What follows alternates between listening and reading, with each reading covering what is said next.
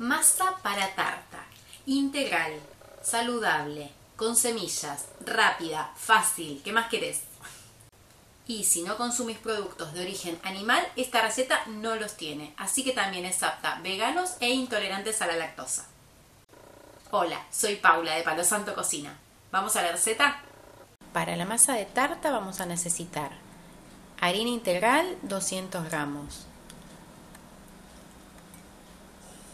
harina 4 ceros o 3 ceros, harina blanca común 100 gramos, aceite de girasol 5 cucharas soperas, una taza chica de agua, estos son 150 centímetros cúbicos. Y de este lado dejo los opcionales, que acá tengo un mix de semillas, en este caso chía, girasol y lino, y media cucharita de sal, que también es opcional, si cocinas sin sal mm, podés prescindir de ella.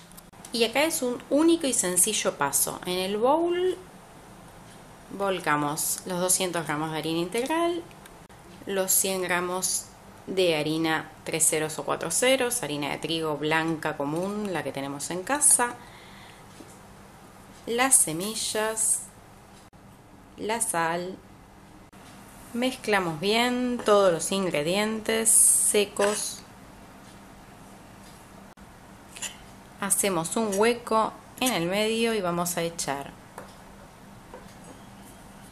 las 5 cucharas soperas de aceite y vamos a echar parte del agua. ¿Por qué? Porque el agua la vamos a ir incorporando de a poco a medida que la harina lo vaya necesitando. Porque en esto, como siempre digo, dependemos del grado de absorción de la harina. Acá seguimos incorporando el agua, los 100, 150 perdón, centímetros cúbicos de agua. Vamos chequeando a ver cuánto realmente necesitamos. Aproximadamente por esta cantidad de harina, estos 300 gramos de harina, suele ser 150 de agua. Pero vamos a ir chequeando a medida que lo necesitemos. Tenemos que armar un bollo liso, tierno, que podamos manejar, que podamos amasar, que no sea una masa chirla, pero tampoco rígida. Acá ya incorporé los 150. Termino de incorporar toda la harina. ¿Te interesan las recetas de este tipo? Saludables, rápidas, para hacer en casa, comer más sano. Suscríbete, toca la campanita que está al lado del botón de suscripción para enterarte cuando subo videos de este tipo. También me puedes seguir en Instagram y en Facebook en las páginas Palo Santo Dulces y Salados. Seguimos con la receta. Acá ya metemos mano. En este caso no es que haya que amasar mucho, lo que hay que hacer básicamente es integrar todos los ingredientes y formar un bollo. Incorporando la harina que me va quedando en el bowl hasta que forma un bollo.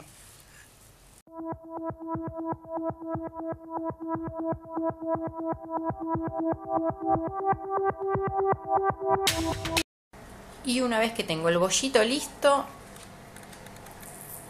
enharinamos mesada y estiramos con palo de amasar.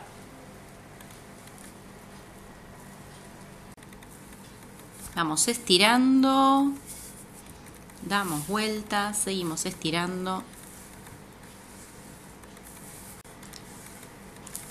Si se pega, agregamos harina, podemos agregar harina en el palote.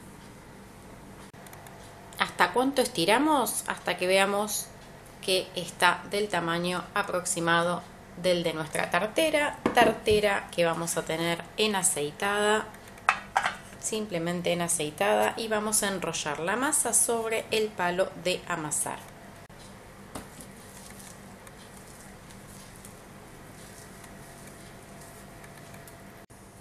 Masa enrollada en el palo de amasar y la vamos a desenrollar sobre la tartera.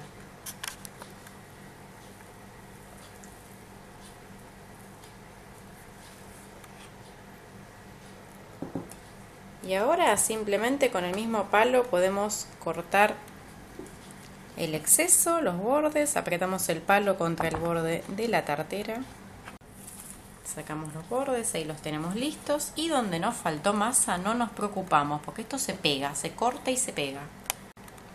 Cortar y pegar con la masa Acá nos faltó, con la masa que nos sobra de otro lado, presionamos, vamos pegando y le vamos dando forma a nuestra masa de tarta.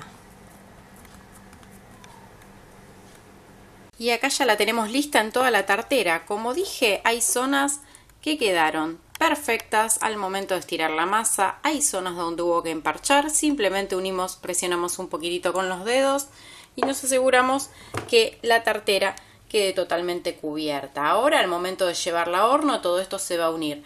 Lo vamos a llevar a horno moderado por unos 10 minutos para precocer la masa. ¿Sí? 10 minutos de horno, la sacamos y después de ahí le ponemos el relleno y la dejamos hasta que se cocina el relleno. El relleno que le vayamos a poner. Podemos ahí ya lo que queramos, ¿sí? Choclo, espinaca. Y así salió del horno después de 10 minutos de precocción. Ahora le podés poner el relleno que quieras y la volvés a llevar a horno.